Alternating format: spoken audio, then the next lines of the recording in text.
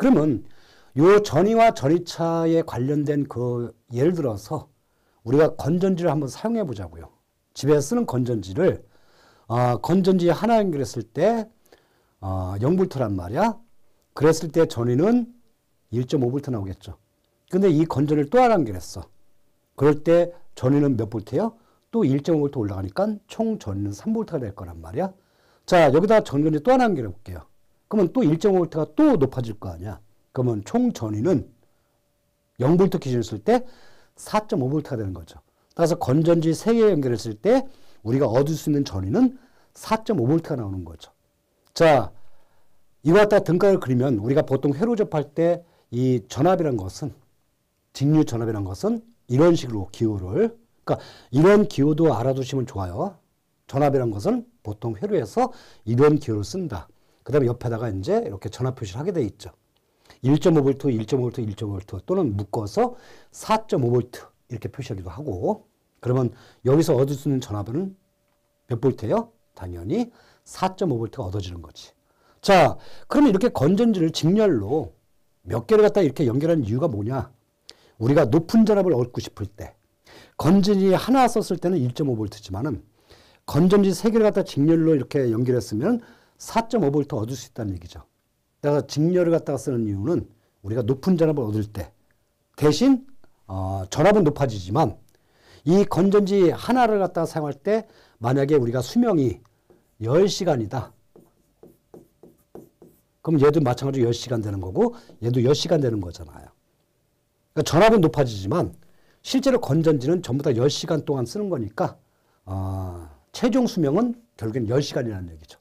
즉 건전지를 갖다 이렇게 직렬로 쓰게 되면 그 직렬로 쓰는 목적은 뭐냐면 어, 우리가 전압을 갖다가 높은 전압을 얻고 싶을 때 그죠? 건전지 하나뿐 약하니까 전압을 갖다 어, 건전지를 세 개 연결해서 4.5V를 얻고 싶다.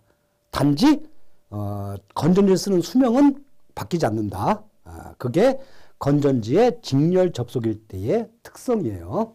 자, 그러면 간혹가다 이렇게 쓰는 경우도 있거든요. 그러면 건전지 얘는 나란히 이런 식으로 쓰는 거잖아요. 같이 묶어서 마이너스 극 마이너스 극끼리 플러스 극은 플러스 끼리 연결해 쓰는 거잖아요. 이걸 뭐라고 그러냐 우리가 건전지의 병렬 접속법. 그러니까 병렬로 나열식으로 이렇게 쓰는 방법을 갖다 우리가 건전지의 병렬 접속이라고 그래요. 그러면 어떻게 되겠어요?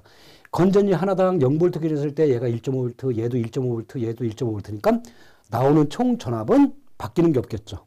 0볼트 기준을 쓸 때 플러스 극 쪽은 우리가 1.5볼트밖에 못 얻지는 거지. 그죠? 그러니까 이렇게 병렬로 쓰는 목적은 뭐냐면 전압을 높이고 싶은 목적은 아니야. 어, 그러면 왜 건전지 갖다 이렇게 굳이 이렇게 세 개씩 쓰나요? 하나만 쓰고 말지? 만약에 건전지 하나당 10시간을 쓴다. 그러면 얘가 10시간 쓰고 얘가 10시간 쓰고 얘가 10시간 쓰잖아요.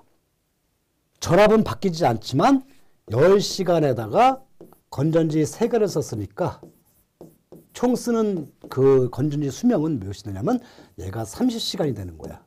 즉 용량이 늘어나는 거죠. 따라서 우리가 건전지에 사용하는 용도가 아, 회로상에서 직렬로 쓸 때, 그 다음에 병렬로 쓸 때. 그러니까 직렬로 쓴다는 얘기는 전압이 높아진다는 얘기고 병렬로 쓴다는 얘기는 전류량이 커진다는 얘기예요. 즉 전화량이 커진다는 얘기죠. 그죠? 용량이 커진다. 그래서 건전지를 갖다가 직렬로 쓸 때와 쓸때그 차이점, 용도상 차이점도 염두에 알고 있으면 도움을 많이 받을 거야, 아마. 자, 건전지는 한쪽이 플러스, 한쪽이 마이너스다. 항상 극성이 변하지 않고 일정하죠. 그래서 우리가 건전지에서 어, 나오는 그런 전압은 아, 우리가 직류예요. 그래서 지금 등가를 표현한 게 1.5V, 1.5V, 1.5V 직류 위에가 플러스 극이고 밑에가 마이너스 극이죠. 항상 이 극성이 안 바뀌는 거야. 즉 총 전압은 어, 등가로 표현하면 1.5V 얻어진다. 이 그림에 대한 등가로가 이렇게 표현해요. 회로에서.